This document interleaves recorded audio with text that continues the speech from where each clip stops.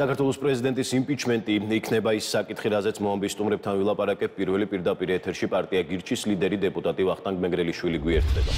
გამარჯობა ბატონო ვახტანგ, მადლობა გადაცემაში მონაწილეობისთვის.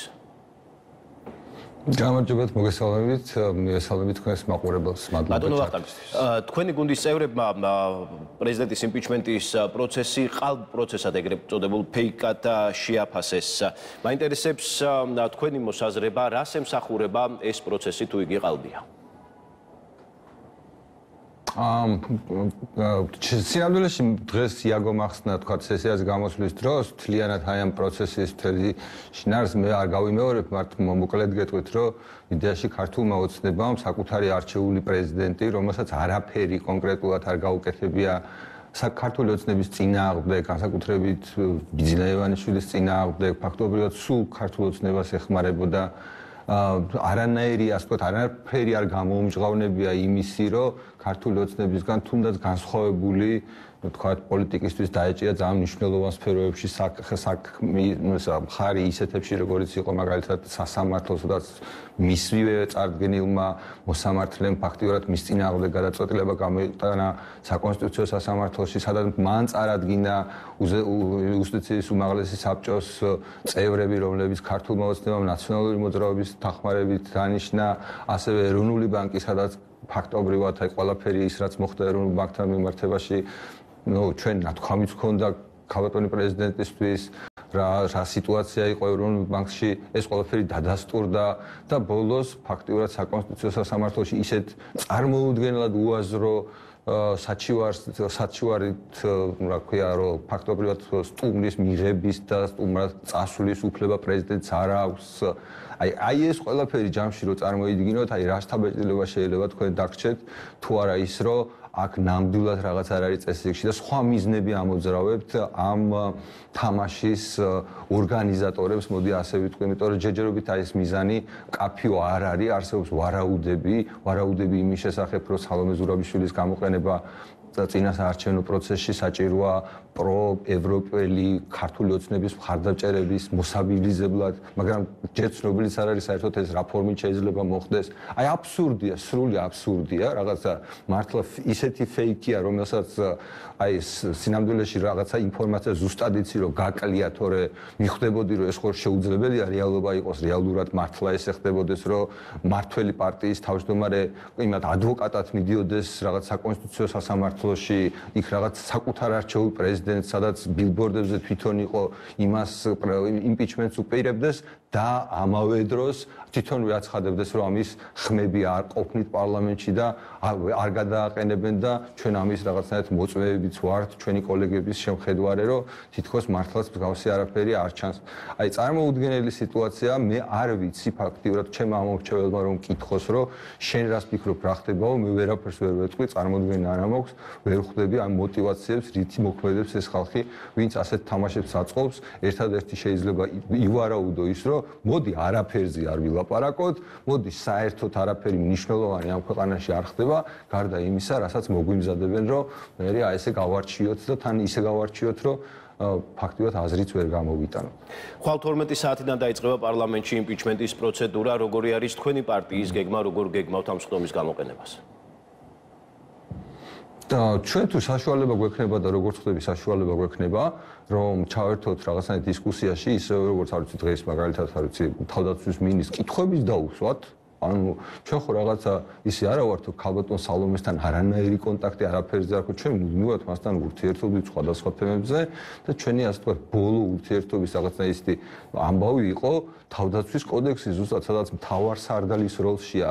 ქალბატონი პრეზიდენტი და მის მიმართ იყო რაღაც სრული უპატივცემულობა გამომჟღავნებული მართველი პარტიის მხრიდან და აი აქ ზუსტადაც არანაირი პრობლემა როგორც ჩანს ქართულმა იმან რა ქვია პრეზიდენტმა ვერ დაინახა რომ ქართული ოცნებისთვის მტკივნეულ მართლაც მტკივნეულ საკითხზე რაიმე კონკრეტული გადაწყვეტილება მიიღო და მართლა მაინტერესებს ქალბატონ პრეზიდენტს დავუსვა კითხვები იმ საკითხებთან მიმართებაში რომელიც ვიცი რომ ჩვენ მისთვის რაღაც თვალსაზრისით გვაქვს ახსნილი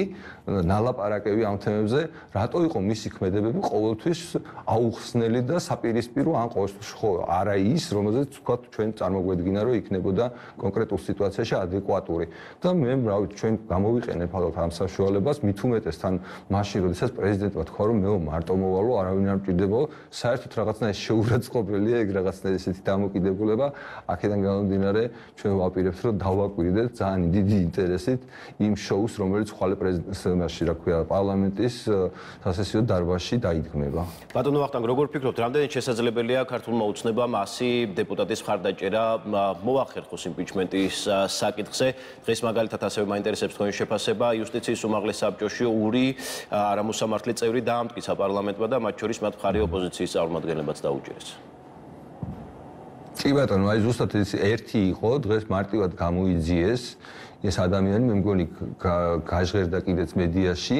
და ხვალე დაჭirdებათ ასეთი 11 თუ არ ვცდები. ხო და ნუ ყველაფერი ხო რაღაცნაირი რაოდენობა, მე არ ვიცი, შეჯერებით ყოველ შემთხვევაში არ მაქვს მე განცდა იმის, რომ ეს 11 ადამიანი რაღაცნაირად დაბევებული ყავს ქართულ ოცნებას და ზუსტად ესეც რაღაცნაირად ინტერესის ერთ-ერთი საკითხია, რომ აი ამ იმაში თუ რამე გაურკვეველია, აი გაურკვეველი არის ის, მართლა რა ანუ რა შედეგით დასრულდება ეს კონცერტი და თუ უცბად აღმოჩნდა რომ მართლა 11 ნუ ნაციონალური მოძრაობის გადა ფიზიკურად არ არის ამდენი დეპუტატი სხვა ფრაქციაში, თუ აღმოჩნდა რომ ამდენი ხალხი არის ქართული ოცნების მხარეზე, მაშინ რავი ეს პარტია რა რა პარტიაა და საერთოდ მე ну, რო გითხრათ, მე არ მეწყინება, რომ ეს რა ქვია, პრეზიდენტი ამ ხალხმა გადააყენონ, ამით ფაქტიურად დამტკიცდება ის, რასაც წლების განმავლობაში ვიძახით, რომ ნაციონალური მოძრაობა და ქართული ოცნება ძალიან შეყმატკილებულად კრიტიკულ სიტუაციებში განსაკუთრებით ახერხებს ერთმანეთთან თანამშრომლობას და თუ ახაც ესეთი რამე აღმოჩნდა, მე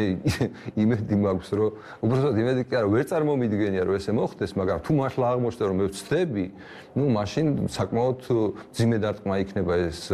ნაციონალური მოძრაობისთვის და ეს რაღაცნაირად ყიჟინას დავცემთ, რომ აი ნახეთ რასაგიჟეთია, რასაც ჩვენ ლაპარაკობთ ამდენი ხნის განმავლობაში, ყველანი დაინახავთ რა. ბატონო ვახტანგ, ეს პოლიტიკური პროცესი საქართველოში მიმდინარეობს მაშინ, როდესაც ველოდებით ევროკომისიის გადაწყვეტილებას კანდიდატის სტატუსზე 12 რეკომენდაციის შესრულებაზე. ჯოზეფ პორელის საჯარო პოზიცია იყო, რომ იგი არის ეს პროცესი იმპიჩმენტი არ იქნებოდა სასარგებლო სტატუსისთვის. დღეს პრემიერმა თქვა, რომ არანაირად იმოქმედებს, უარყოფითად არ იმოქმედებს კანდიდატის სტატუსზე და 12 რეკომენდაციაც უკვე ბოლომდე არის პრაქტიკულად მიყვანილი. მაინტერესებს თქვენი შეფასება, როგორ შეიძლება ამან იმოქმედოს იმ განწყობებზე, რომელიც ჩვენ დასავლურ პარტნიორებს აქვთ და კონკრეტულად 12 რეკომენდაციას. ჩვენ იმდენი რაღაცა გავაკეთეთ ამ პერიოდის განმავლობაში, რომ აი დაწყებული იქიდან, რომ დასავლეთს რაღაც გლობალური ომის პარტია დაუძახეთ, ოღონდ არ ვიძახით ვინ არიან ეს გლობალური ომის პარტია, ვიღაცებზე ვიძახით, რომ ომში გვითრევენ, რაღაცა ომი გვინდა, ну, მოკლედ ძალიან სერიოზული სამუშაოა ქართულ ოცნებას უკვე გაწეული იმასთან დაკავშირებით, რომ რაღაც პრეზიდენტი არ იყოს თავარი თემა. განსაკუთრებით ინფორმატ რეკომენდაციასთანაც დაკავშირებით, ახლა რა თქვი ძანეთ, რომ პრემიერმა თქვაო, ტყუილია ხო ხო. მე მონაწილეც ვარ ამ პროცესის ერთ-ერთი კომისიაში ვიყავი რაღაც დეოლიგარქიზაციის და აი, ну, პირველი იმიდან ვიცი რა მოწმე ვარ, რომ სისულელია რომ თქვა ვიღაცამ თქვას, რომ ჩვენ სერიოზულად რაღაც 12 პუნქტი შევასრულეთ და აქედან გამომდინარე კიდევ ერთი არგუმენტი დაემატება იმ ხალხს ხალხს, რომელსაც შეიძლება საქართველოს ევროკავშირის წევრობა მაინც არ უნდა, მაგრამ გადამწყვეტი იქნება ეს იმპიჩმენტი ამ ყველაფერში ბოლო წვეთი იქნება, რომელიც რაღაცნაირად შეცვლის გადაწყვეტილებას თუ არა, მე მაგაზე ვერაფერს ვერ გეტყვით, იმიტომ რომ შეიძლება ეს გადაწყვეტილება ისედაც არ მიიღოთ ჩვენი წინამოქმედებებიდან გამომდინარე და ეს ეთყობა შეიძლება გარანტიისთვის არის საჭირო, რომ აი კიდევ ერთ წვეთს დავამატებთ ამას ხვალ ხოდა შეიძლება მასეც ვივარაუდოთ, რომ აი უბრალოდ აუხსნელია თუ არა ის, რომ მოდი ბევრი არგუმენტი მივცეთ საქართველოს ევროკავშირში კანდიდატობის სტატუსის მოწინააღმდეგეებს, რომ ჩვენ ეს არ მოგვცენ, თუ ეს არის მიზანი მე ვერ წარმოვიდგენია რომ ეს იყოს რეალურად მიზანი, ცოტა მიჭირს ამის წარმოქმნა, მაგრამ თუ ეს არის მიზანი, მაშინ ასე თუ ისე რაღაცა ლოგიკა ექნებოდა ამ გადაწყვეტილებებს. ბატონო ვახტანგ, მადლობა გადაცემაში მონაწილეობისთვის. მადლობა თქვენ ჩართვისთვის. პარტია გირჩის ლიდერი დეპუტატი ვახტანგ მეგრელიშვილი პასუხობდა მოამბის შეკითხვებს.